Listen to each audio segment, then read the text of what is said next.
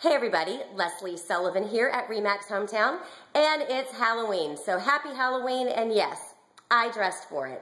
This is my newest listing in the Oak Crest community, gated community, on 1488 in Magnolia.